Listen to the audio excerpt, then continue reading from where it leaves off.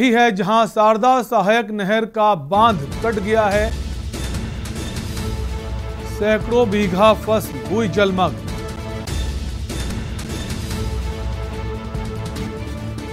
कई गाँवों की सैकड़ों बीघा फ़सल बर्बाद हो गई है। बाँध के कटने से सिकरारा थाने के लखापुर के पास ये नहर कटी है।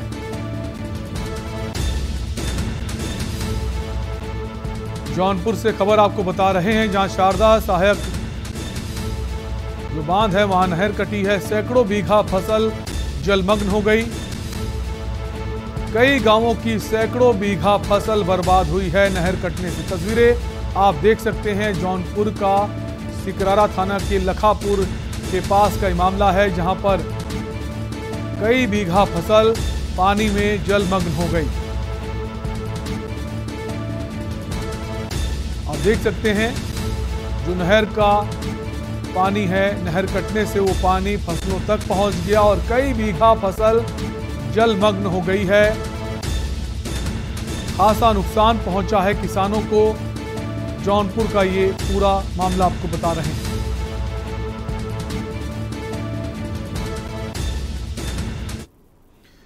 और अगली बड़ी खबर